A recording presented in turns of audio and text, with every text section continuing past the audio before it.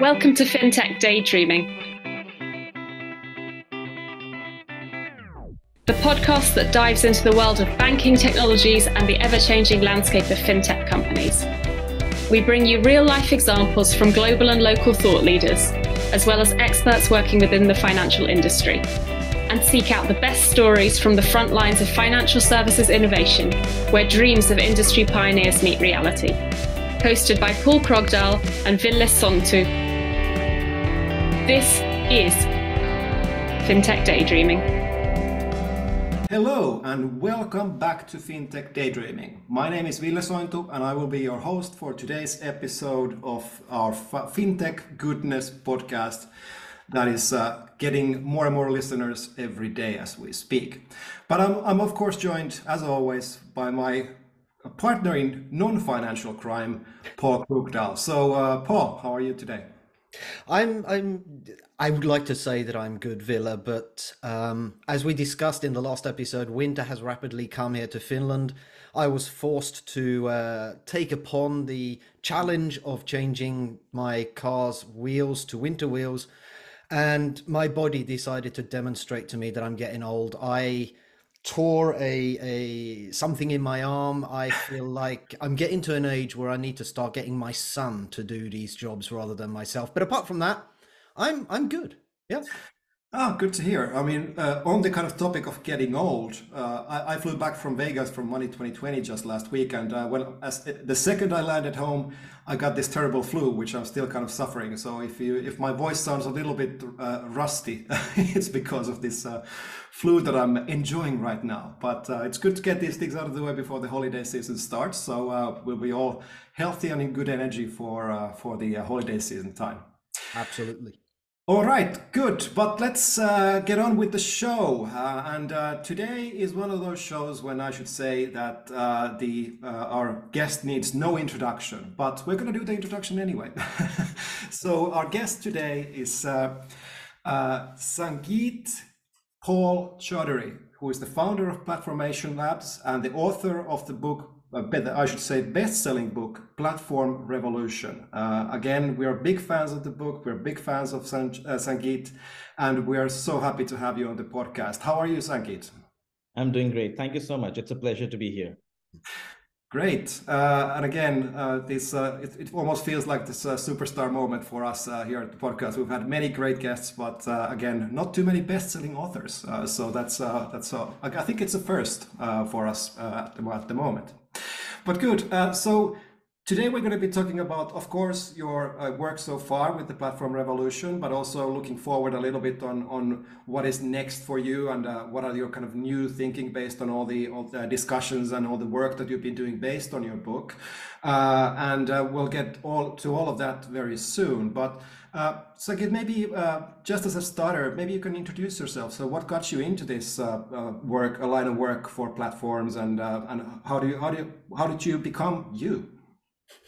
Uh, well, I started my career in big tech, you know, around the global financial crisis around that time, um, and um, one of the first issues that I started looking at as part of my work was whether you know there was a fundamentally different business model we were moving to with software um, because uh, a lot of tech companies, I mean, forget Google and Facebook, but a lot of tech companies that time were still in the business of selling software, right? and uh, they were in the business of uh, uh, charging for actual actual software. We still had not entered the period where we were charging for data, uh, and we were giving software away for free. So that was, you know, that was the cusp at which I was trying to make sense of what was happening, and a lot of people were kind of framing this as you know we're moving away from um, you know uh, desktop to cloud.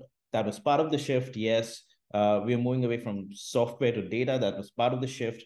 But there was a bigger shift uh, wrapping all of this together. And and that's what kind of really got me thinking in terms of what's the really big shift that's happening in business models. It's not just a shift from where the software sits or how the so- or, or where you make money. It's it's all of it right? And that's uh, what kind of got me uh, uh, you know deeper into thinking about it. And uh, I, I ended up crafting this whole story around well the real shift is is not necessarily from desktop to cloud. It's not necessarily fl- uh, just from you know uh, making money on software to giving software for free and making money on data. There's a bigger shift across industries and software kind of underpins all of it. But the real shift is from pipelines to platforms. And if i just could explain that in one line uh, the idea of a pipeline is traditional business models in the industrial era have always worked on this model of build something ship it out send it down the pipeline and somebody buys it at the other end right um, and software also worked that way if you look at microsoft if you look at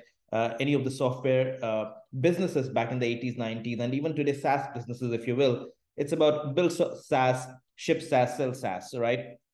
But we were coming into a different business model era where the role of software no longer was to be the product, but to be something else, uh, which allowed interactions between other players and help them work together and build on top of it. And that that's the key idea that we move away from the pipeline model to a platform model where your business as a company is really to act as an infrastructure and a governance mechanism to enable third party interactions and coordination around yourself. And that was the key uh, insight that kind of kicked off uh, my work over the past decade. It's, it's interesting. I mean, when we're talking about banking in particular, banking is and always has been a fundamentally pipeline based business banks create banking products that they then provide to consumers. I would assume if we look at this from a, a banking perspective, it's a fundamentally difficult proposition for traditional bankers to understand that transition from a pipeline based model to a platform based model. Do, do you have any simplistic examples from other industries that could maybe help to put that in position for for the banking industry? Yeah, absolutely. I think, you know, uh, I'll, I'll answer that question in two parts, right? Uh, the first part, which which you uh, framed as banking being a largely pipeline business, is a very interesting part of, uh, is a really interesting topic uh, because um, banking professionals themselves are divided on whether they see themselves as pipeline or platform. And I'll explain why, because one of the key ideas about a platform business is that you're able to scale with assets that are not necessarily your own, but are third party assets. So think of Airbnb, you don't own the rooms, but you're able to scale because third parties, essentially hosts, provide rooms, guests book rooms. And so uh, you're able to scale without scaling up your internal assets. Now, a lot of banks think that they are pipelines because uh, they are pushing out banking products, but there, there's another set of banking executives who say, well, we are platforms because we are building off the deposits that are coming from third parties and we are driving those deposits into loans for uh, you know the demand side and so it's not fundamentally too different. Um, now it's important to understand that just because you sit in the middle of an interaction does not automatically make you a platform uh, you could sit in the middle of an interaction and still be just sourcing deposits, bundling them into products, and pushing them out through a pipeline. And that's exactly where you were going. That's exactly to some extent what they do. Um, in order for you to successfully be a platform, you really need to benefit from uh, you know the the interactions that happen around you and are scaling without you necessarily having to scale your ability to um, you know um, grow as an organization to enable that and uh, I'll I'll just give a simple example in terms of how this uh, plays out in different industries. Uh, obviously, Airbnb is an example that I gave of an example that or an example that's that's well understood, if you will. Um, there, there are uh, you know tons of other uh, scenarios where we see a traditional pipeline model versus a platform model. Think of uh, a staffing company which typically hires people and then uh, you know leases out those people to clients versus think of a freelancing platform like upwork which does not hire those professionals connects them to the stakeholders who want to work with them. Now the key difference between that type of a platform and an airbnb kind of a platform uh, versus the banking example is that platforms fundamentally provide the infrastructure on which these markets can develop. How do these markets develop? One simple way for a market to develop is by building trust not in the platform itself, but in the market participants, right? So in Airbnb, you trust Airbnb. Yes, Airbnb covers you with insurance. But the real reason you engage in a transaction is because you see a five star rated host. So there's a trust in a market participant created as well. With banks, they're still working pipeline. They're not creating trust in the market, they're creating trust in themselves. And that's what's helping them scale the pipeline. So a key issue here is to really understand do you empower market interactions, or do you just sit in the middle and empower an organizational form of value creation? Uh, that's, I think, is, is, one of the key tests. I'll get to a second test of a, a platform business model, which is equally interesting, but I'll pause here uh, at this point. Great. Uh, now that we kind of successfully built the bridge from uh, from the kind of platform thinking in general into financial services and fintech, uh, I know our audience is expecting one thing, and the one thing is the joke that we always do in the in the podcast. So even at the risk of pausing the discussion for a moment, I'm going to ask: Do you have a maybe fintech related joke that will kind of get us a nice segue to the uh, follow up questions uh, that we have around here? Well, I'm just going to break the, the mold a bit here because this is not not traditionally a joke, but to me the biggest joke is uh, when consultants come to a bank and say you need to stop being a bank and you need to become a tech company, you need to become a platform company, or when people say every every company is going to be a tech company. Well, every company needs tech, but that does not mean that you abandon your existing profit pools and you abandon your existing ways of making money. Hmm. You have to figure out how tech helps you defend your existing position and then leveraging that branch out into new positions and i think that's that's you know if you're a banking executive and a lot of innovation enthusiasts inside banking go to the head of risk and say we need to stop being a bank. That's not you know a conversation that's going to go anywhere. So i think that's the key uh, principle over here that any transformation you know technology will keep changing. You you had you you've had cloud you've had mobile now you have you know generative ai you'll have another technological shift. With every shift you need to figure out where is value shifting and how does it impact your profit pool. You don't just say our profit pools worked in the past now we're going to find a new profit pool. So i think to me you know i've gone now way beyond the joke but but to me that's a recurring joke when i enter into any room with banking executives and somebody asks me do we have to abandon being a bank? What do what are we in the future? Yeah. Does it sound familiar Pål what do you think? Well you know as as a consultant, I resonate very strongly with what you're, you're, just saying, and it is a fantastic joke. I mean, I've I'm one of the the people who who absolutely believe that banks should not be a technology company with a banking license. They should leave technology to the technology experts and focus on being a bank, particularly as they're being heavily disrupted. So I, I fully agree with you and I understand it as a joke very well. Yeah, and uh, as a recovering banker myself, I can totally relate. Uh, the amount of consultants that came to the bank and said that exact thing is uh, is staggering. I can tell you that. Yeah. Uh, there is one exception to the rule, though. I mean, if you actually are a tech company and then you do, do, actually acquire a banking license, then that's a debate that we can have. But for for the kind of incumbent banks, yeah, if you're setting up yourself for uh, for uh, a losing proposition if you try to become Google uh, suddenly uh, after being a bank for hundred years plus. So.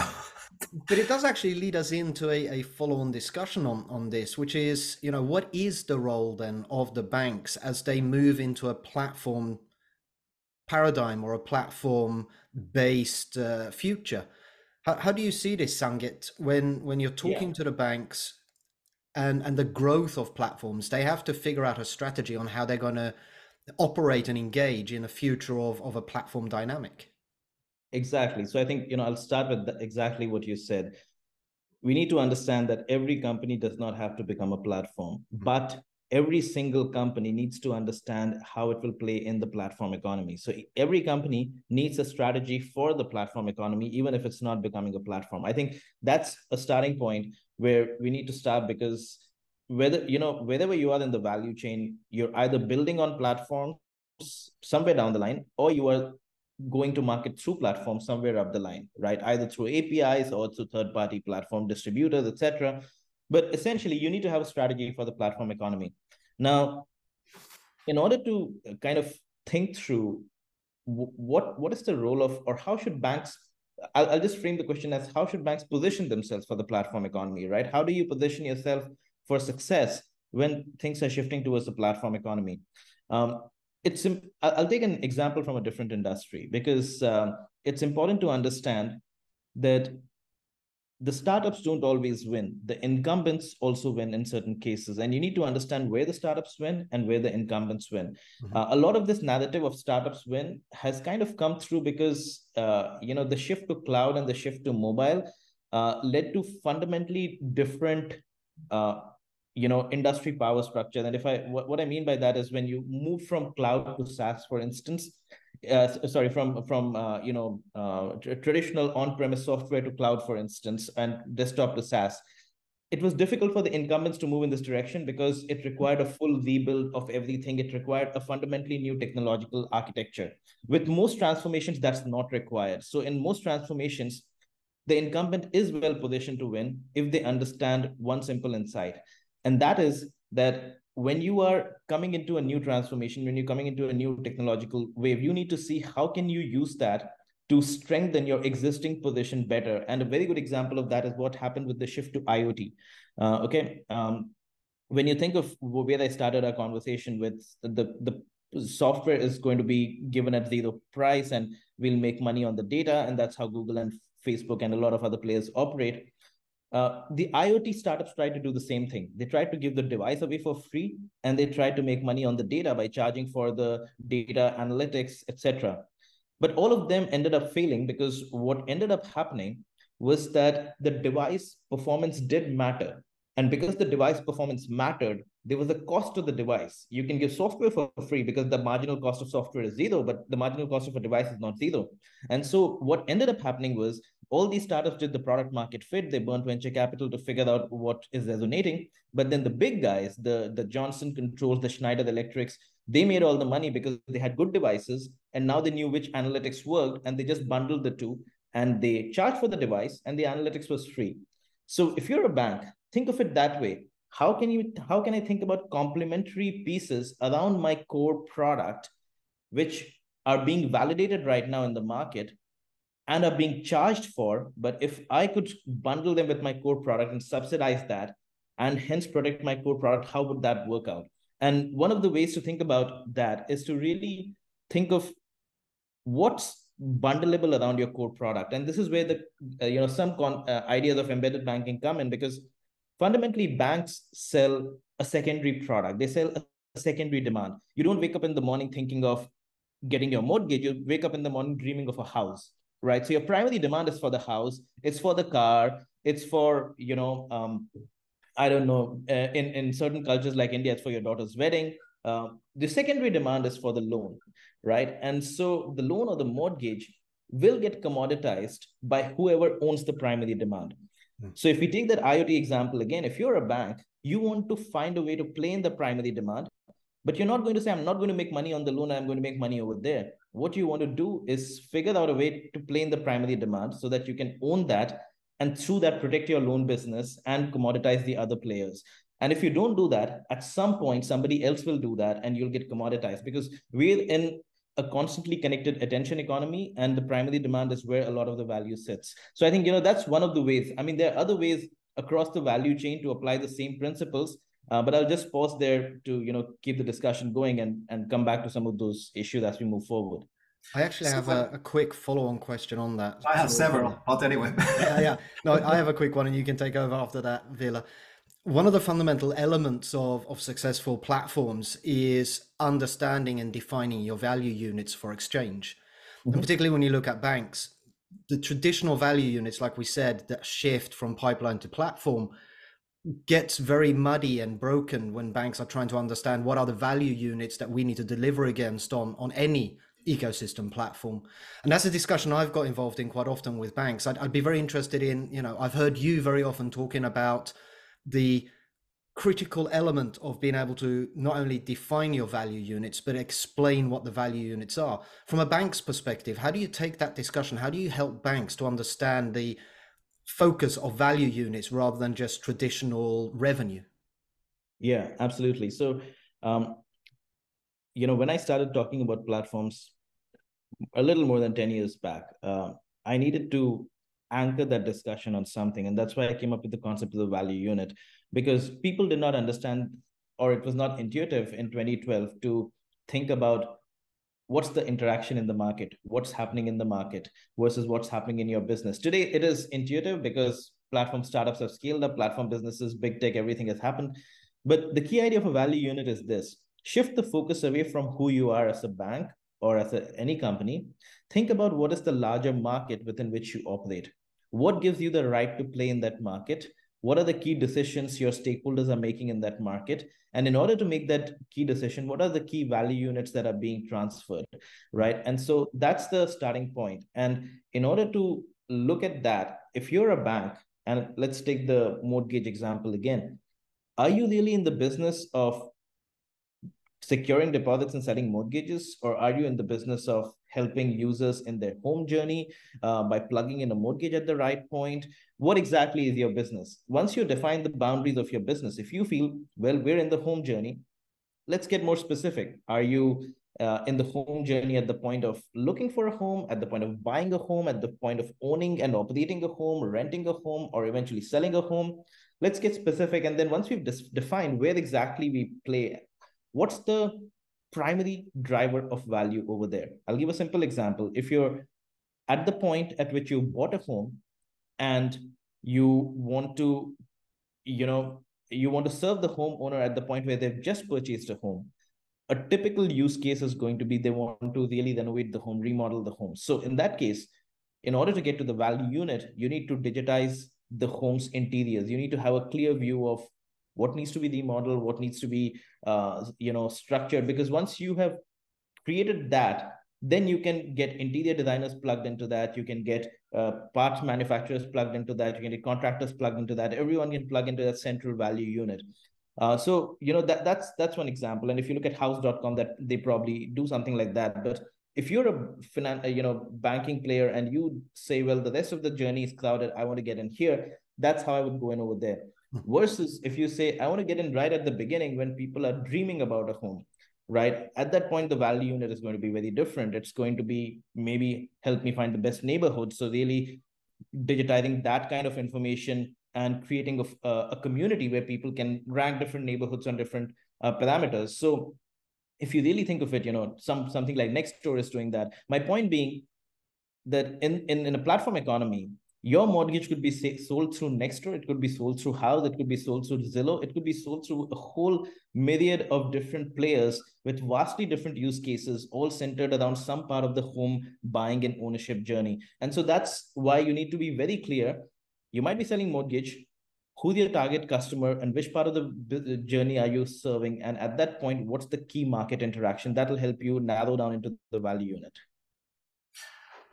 That's really, really interesting framing to the to the question that I want to ask. Uh, I want to circle back to something you said uh, in the earlier answer, which was that not every company needs to be a platform. Uh, um, mm-hmm. They don't need to be, nor they should be. Uh, shouldn't they be uh, a platform? So, in context of banking, uh, the we've had so many discussions on the podcast earlier about what we call embedded finance or embedded banking, which in my mind, in this world, really is the distribution of banking services into platforms. Now, these, these platforms can be uh, another discussion we've been having many times, basically like super apps. So if you have like the WeChats, the Alibabas uh, of the world, Klarna to a certain extent, Revoluts uh, in the world of fintech, those are the super apps. Now, I know we have a lot of listeners who are working in banks and they're thinking about their strategy in terms of, well, not only embedded finance, but the question that they have is that should we become a super app? Uh, and the, um, the, the question then is that if we rephrase it in the discussion that we've been having here so far, is that should we become a platform? Uh, should we become the super app provider or, or, the distributor, or should we kind of uh, stay stay back and uh, be happy with the embedded finance proposition? So, what do you think? I mean, I'm sure there are a lot of regional differences for banks when they're try, trying to make these decisions. But do is there some kind of criteria that uh, they should be thinking about uh, whether in making these decisions on when they, whether they should become platforms or not? Uh, absolutely. So, you know, I'm I'm going to take a a slightly uh, provocative position over there because uh, my my position is that uh, there is actually only one successful super app in the world today, and that is WeChat. And I'll explain what, what I mean by that. Okay. Uh, everybody else is trying to be a super app. Um, a super app is not something that just bundles multiple apps together. A super app is something that owns the right to run all those functions so that if you're a banking super app, your customer should not have another banking app on your phone at all. If they do, you're not really a banking super app. You're just a single app that has three more functionalities. That's not a super app. You know, the reason WeChat is a super app uh, and, and why it's so powerful is because in China, people don't you know, WeChat is is the real layer at which apps reside. What I mean by that is people in China open their phone, they get into WeChat, and then they open other apps from there. They communicate, they run payments, everything happens in WeChat to the extent that Apple had to, you know, constantly do business development with WeChat to keep on asking them to implement every new update to iOS because uh, when they changed something in iOS, until WeChat made that change, the app sitting inside WeChat could not benefit from those changes.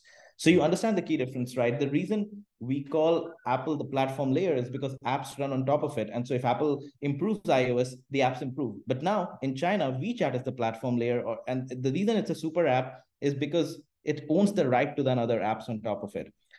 The reason it was able to do that, again, this is another uh, you know controversial or provocative insight that I'll just throw out there, is that WeChat was not simply the number one communication app that also happened to do payments look for uh, you know for to be a super app the first thing is you need to have both the ability to um, manage workflow and have the right of uh, relationship with the user. So you are the place the user goes to daily for that bucket of use cases right?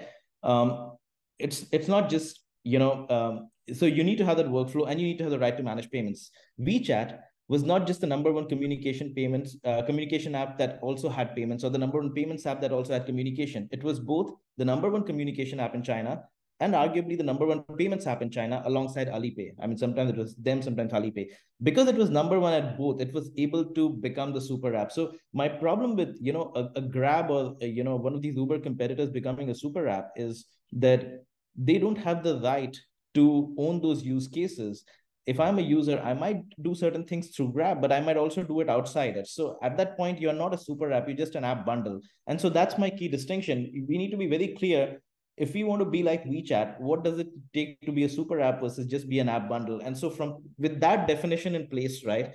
I don't think a lot of these super apps are really successful as super apps. They are merely one core functionality with 10 adjacent functionalities bundled together, uh, which is not a bad position. It's a good position, but we should understand that it will not give you the market power that uh, a WeChat will give you. So I, I, think that's one piece that I just want to bring out that, you know, if you really are serious about being a super app, you should ask yourself, do you have the right to become the default layer that which all banking functionalities will play for the user going forward?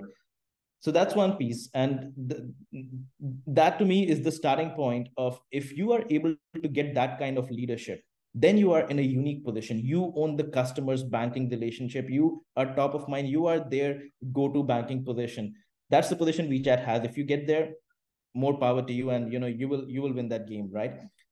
In most cases you will not get there and that's where embedding finance comes in right? Embedded finance comes in because uh, you need to not just you know there are there are two ways to win in the platform economy. If you are able to win close to the user, the way to win is you own the right to serve the user, right? Uh, I mean, Google, Facebook, these guys have won because they've owned the right to serve the user on that use case.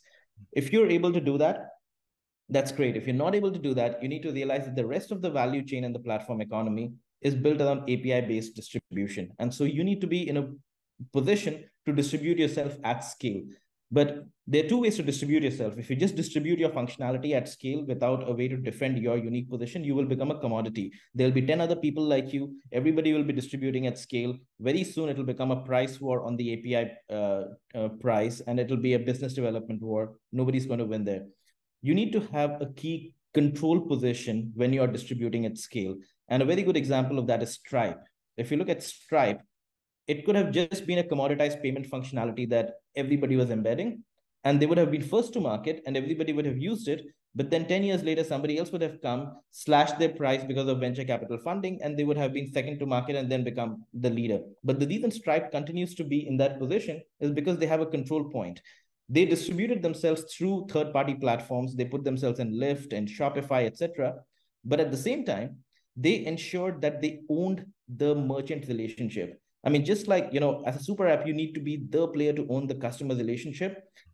as an embedded function with embedded functionality you need to either own the merchant relationship or some some key relationship in the ecosystem. And so stripe today is the only company that knows that you are running a shop on shopify but also driving lyft at night because it's managing your payments across both. That's a control point. Without that you get into an api price commoditization game. And so you know i just want to call these two things out because until you look for the control point you are kind of doing innovation theater without really building the right business model. It's so, interesting. You, you you've pulled me into the book, right? Um, remembering back into reading the book, you, you're picking up on two things that that really stuck to me when I read the book. The one is around stickiness, defining what is your stickiness to to retain the customer. The other one as well is around you know multi-homing. You you talk in yeah, the book quite a lot exactly. about multi-homing, and I think you use the the the game machines uh, as as a good example, and VHS and Betamax. I, th- I yeah. think there's there's critical elements here about being able to not only just drive the stickiness, but also to prevent multi-homing. And super apps there, the way you defined it to me was a prime example of multi-homing. Absolutely. So Andy, yeah, and with all, for all the banks with the super app dreams, uh, we can all do a callback now to the joke we did in the beginning. Uh, you're not going to be Google. Uh, you probably are not going to do a super app either. So I think this uh, we're seeing a recurring theme here for sure. Uh, I also picked up another uh, word you just mentioned uh, in your previous answer, which was basically the unbundling and bundling, uh, rebundling of things. And this moves us to the next stage of the uh, of the discussion because you've done a lot of work uh, after your book came out around this. the concepts of bundling and unbundling. So, especially in the context of digital services, this is a, really interesting phenomenon to to observe. So, maybe you can elaborate a little bit and make a bit of an introduction yeah. to this uh, topic. Absolutely. So, you know, when the book came out in 2016, uh, big tech antitrust action was just starting. And so around that time, regulators started reaching out to me to understand these ideas in terms of when are these big tech companies actually amassing market power and when are they not? You know, when should we regulate them versus not? So helping create frameworks uh, for them to understand it. And that's what kind of got me interested in the idea of unbundling and rebundling uh, if you look at financial services, right, I mean, it becomes very interesting over there. In general, unbundling disrupts the current industry structure, okay? But it does not lead to sustainable companies with wildly profitable value pools and sustainable uh, successful uh, you know long-term value creation if you look at a lot of fintechs that started out in the 2010s they started by unbundling they would start take one function of the bank and reimagine that and just deliver that as a full company, right? But the successful ones always use that unbundling to get to that place to to get to that control point so that you know going back to your point it, then the multi-homing piece is key over there you get to a control point only when there's no multi-homing that means that you have established that dominance so you use your unbundling vertical play to compete with you know a confused horizontal player like a bank uh, which is doing multiple things.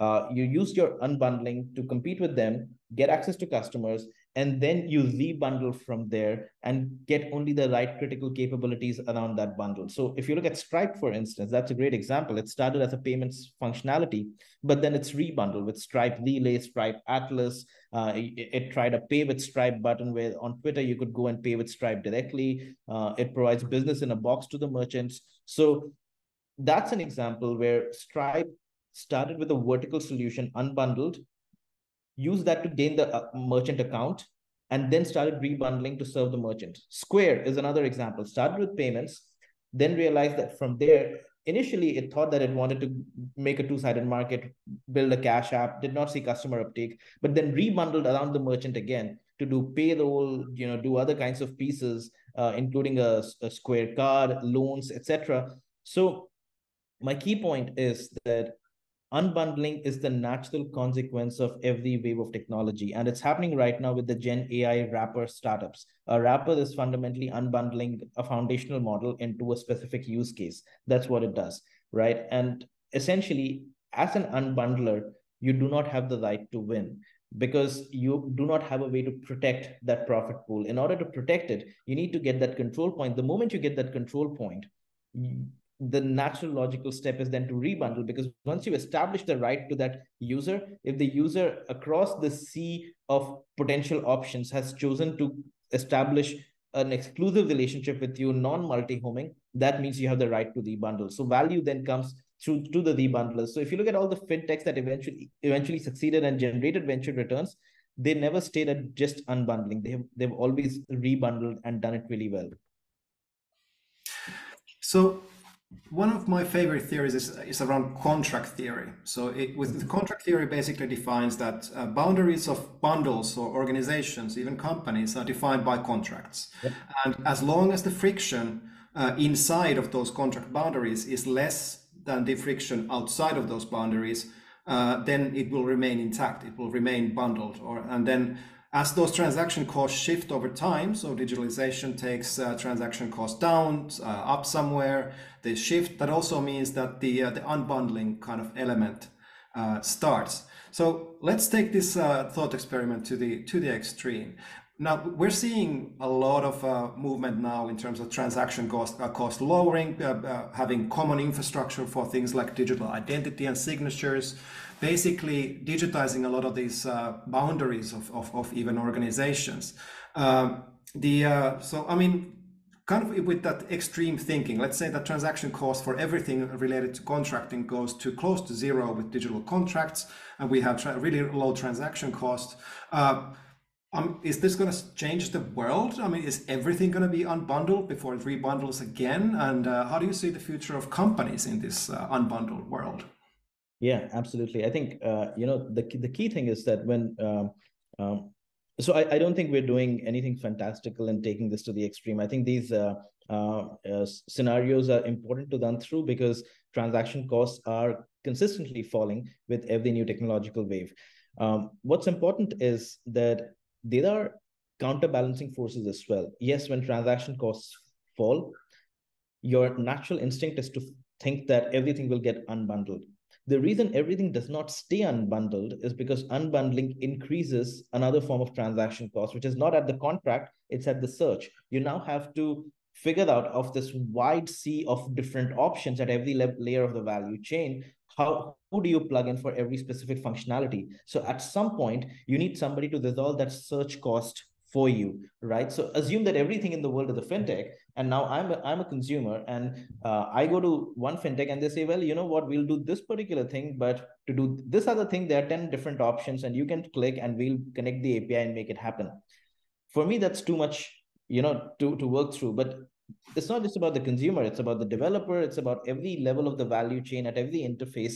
If instead of curated options you have hundreds of options that becomes a challenge. And so what rebundling you know what then ends up happening is the the forcing function shifts away from friction in the contract to i won't say friction but the ability to retain the relationship. When everybody gets unbundled whoever emerges as the key player who retains the critical relationship in a market that they are operating in closer to the customer it's the customer relationship. Away from the customer it's a developer relationship at different points in the value chain. If you're you know in the api game uh, further down it's the merchant relationship etc so the key relationship if you're able to get access to that and if you're able to establish yourself as the purveyor of that relationship that then gives you the right to the bundle. So we will always, with every new shift in technology, see more unbundling happening, and we will always need a way to resolve those costs through somebody who now owns the new quote unquote friction, but it's really the new right to the relationship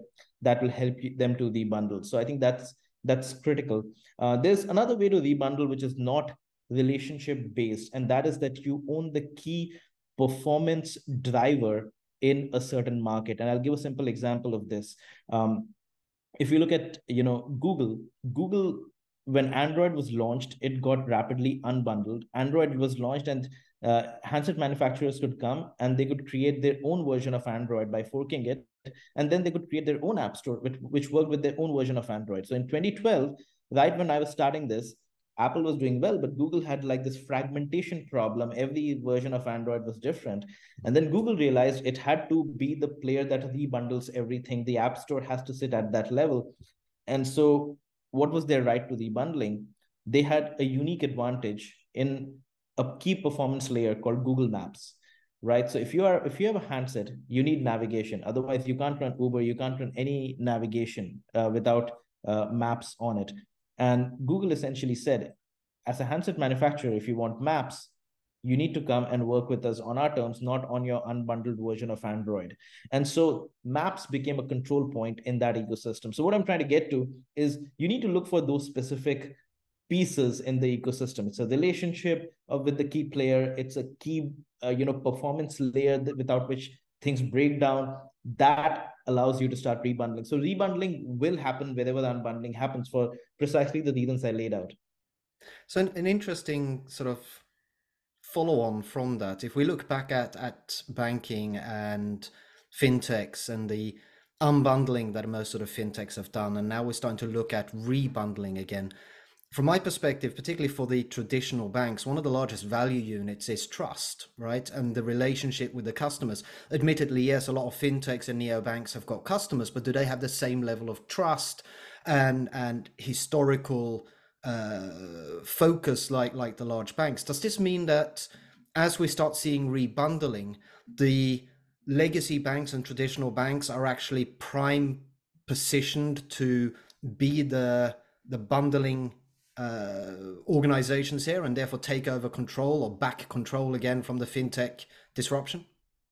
So that's that's a great, really, really important point that needs to be clarified for banks because sometimes trust becomes a catch-all term. You just say that because we have the brand, we have trust, and so we win.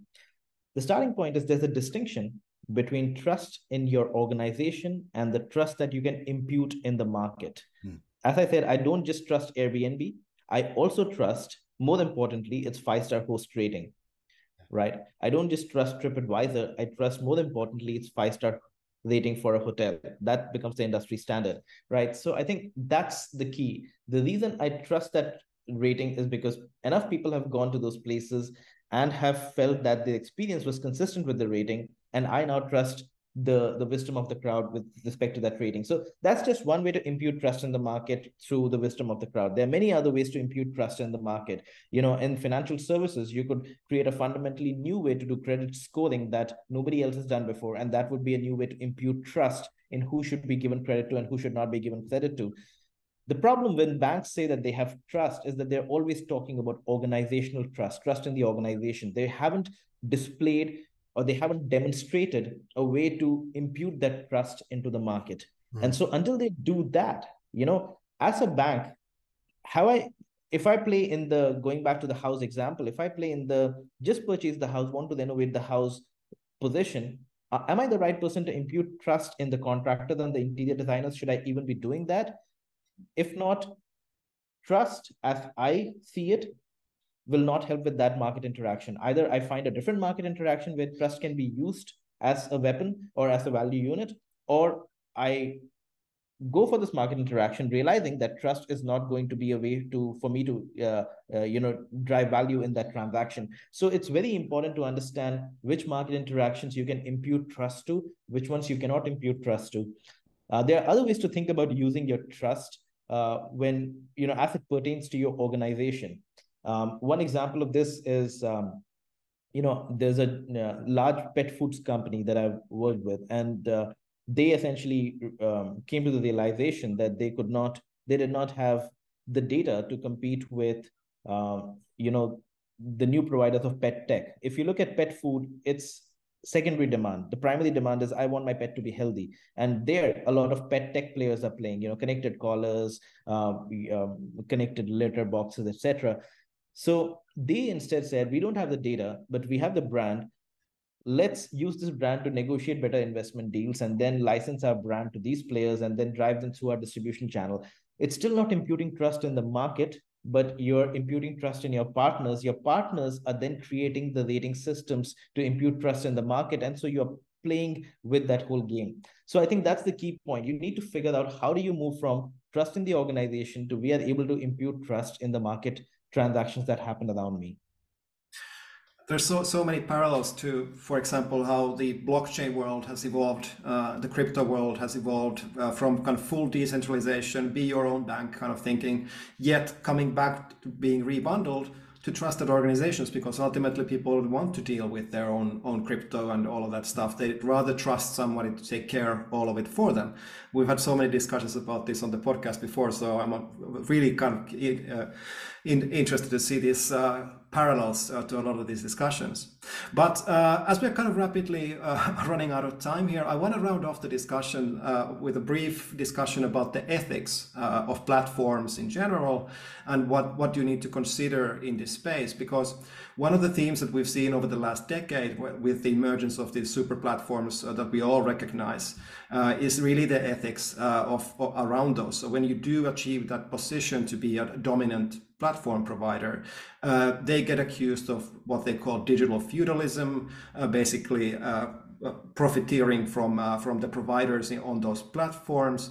And there's a lot of these negative discussions where we've all heard in, in so many medias before. So from your perspective what, what is your guidance and advice on on both sides of this discussion? So being a platform provider how do you create a fair platform uh, with ethical thinking behind it? And then as a provider for platforms how do you identify the places that are good for your products? Yeah i think um, you know um, I'll just state my position on this, which uh, you know, ho- hopefully that you know, I I I, I um, uh, I learn enough to change this position over time. But my position about ethics is just this: that you cannot solve for ethics by solving for ethics alone. The only way to solve for ethics is by solving for incentives and power structures. Uh, given the right level of power and given the right incentives, ethics stop mattering to companies. Because if you have sufficient power and sufficient incentives to use that in certain ways you are going to move in that direction and start using it. And that's what we've seen with 300 to 400 years of corporate history. I don't see that going away easily until you start you stop just shouting at companies to start being ethical and start figuring out systemic solutions to attack those incentives and power structures right? And so if you think of that my my current work, which is the you know uh, my current body of work, which on which I'm writing a book as well, uh, essentially is about understanding this four step shift in incentives and power structures in the platform economy. The first step is always unbundling. Okay, you move from a vertically integrated contract driven firm to an unbundled situation, then you rebundle. What happens after rebundling is now the industry is no longer vertical, it's horizontal. Stripe is a horizontal, you know, a, a bank in a box cloud, industry cloud is a horizontal, and further up, other players are horizontals like Facebook, Amazon, uh, PayPal. But once you reach this horizontal position, what ends up happening is that we start seeing something which I call sandwiching. You you now have the value chain like a sandwich, and these horizontal players start squeezing you right? They squeeze you in different ways. They may say, Amazon may say, hey, merchants below me, I've got the customer access, I have Prime. I'm going to make you fight for the buy box. I'm going to char- eh, ensure that you charge the least over here. That's sandwiching. You're squeezing profits away and you are becoming thicker, they are becoming thinner, right? Another way to sandwich is that I could be AWS or Azure or any of these companies, and I see all the companies above me are building the same thing. I want to, uh, you know, build that and take it away from all of them, and that happens all the time. You know, uh, uh, Twitter sees that Meerkat is coming up, so it it buys Periscope and stops Meerkat. So absorbing functionality away from other players building on top of you is again shifting profits in your direction. So what ends up happening is when you rebundle, the logical next step, if you don't control for power, is you start seeing this sandwiching happening. And over time, in addition to sandwiching, you also have selective vertical integration. I may I may own a horizontal, but I may say, I, you know, I'm Amazon, I own the marketplace, but I also want to own that category and that category, but not all these other categories. That's selective vertical integration. Because of your God view, you are able to determine which part of the market you want to own, and nobody else can deal with that. So, my point is, before we uh, start solving for ethics, we need to solve for these issues. How do you prevent sandwiching? How do you prevent the selective stacking? And the answer to all this lies in one step before this happens what's the control point? If you can identify the control point you need to start regulating the control point. Can stripe be allowed to own all merchant identities or should merchant identity become um, you know a shared uh, resource which can be managed by country level cooperators etc right? I mean those are the kinds of questions we need to start thinking about. I'm not saying that's the right answer but my point is we need to start thinking about the the ethics problem at the point of the control point should google maps be allowed to be completely owned or should maps become you know a, a, a fundamental utility foundational utility a lot of all the innovation that has happened in the US has been on top of foundational utilities built by the government. The government built the internet, the government built the financial system. But then when you build a horizontal layer on top of it, you then start getting the ability to start sandwiching. So until you solve for that, you can't solve for ethics. And I think that's the concern. Hmm. Having said that, you need to ensure that you need to understand that market participants themselves have a way to self-regulate, but there are limits to that self-regulation. For example, you know, Amazon has to be fair to a certain extent to the merchants, but you can't just say that unless it's fair to the merchants, the merchants will move away. There are many different control points that Amazon has, like the you know the price matching algorithm where it matches the same product on different sites through which it controls the merchant. But to some extent it has to be nice to the merchant. So a regulator should not over regulate they need to understand to what extent is the platform already providing a fair market and what are the points at which that fairness is going away and then start regulating those pieces and the control points around that.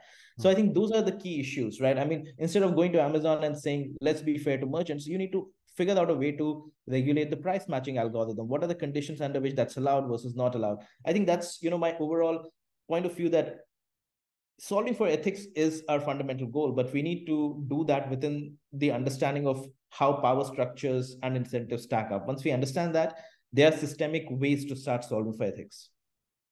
Wow, that is a really important theme to end up on because, again, we have a saying in this podcast, which is time flies when you're having fun. And it really, really has flown uh, this time. I feel we could go on for at least another eight hours on all of these topics easily. But uh, so unfortunately, we're out of time, so we have to round it off uh, for, for this episode. But before we do, uh, was there anything that you wanted to talk about that we didn't get a chance to talk about? I know you mentioned your upcoming book, uh, maybe something about that?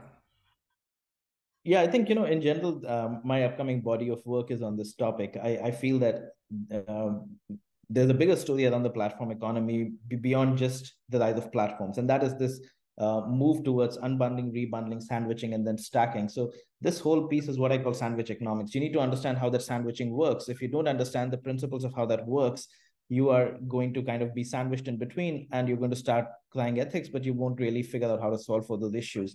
Uh, so that's my overall body of work. I mean I, I write about that every week at my newsletter. It's platforms.substack.com uh, you can follow it over there. Yeah, my website is platformthinkinglabs.com where i write about all these issues as well. And uh, yeah i mean before the book i would uh, i am looking to you know bring out this idea more in a short uh, really cute explainer video to kind of help people understand how the sandwiching works and what to do about it. And so uh, that that should come out later this month. And so that'll be the start of that journey towards bringing out this body of work. That's fantastic. And there you heard it already how you can get in touch. But uh, is there any other medium uh, that our listeners can get in touch with you if they want to learn more? I think feel free to connect and follow on LinkedIn. I, uh, you know, regularly post over there um, I, my I'm happy to drop my email as well, which you can add uh, below the podcast at sangeet at platformthinkinglabs.com. Um, but yeah, I think those are the best avenues to get in touch through. Great. So thank you so much for this episode. I think this was uh, long but well worth it uh, time for our listeners, and I, I think they will agree. And on that note, uh, if you did like this episode, if you liked any of the episodes we've done before, do drop us a review, uh, like, subscribe, the usual things we always talk about, because that really helps. Especially if you write a review or a comment, that really helps uh, new listeners to discover our podcast and the content that we're doing here. Uh, pro bono, to be to be fair, no ads in this podcast. so. Thank you for listening again. Uh, we will see you in a few weeks' time. Pål and I will be now heading off to the uh, beautiful autumn of Finland. Thank you. This has been FinTech Daydreaming. This is FinTech Daydreaming.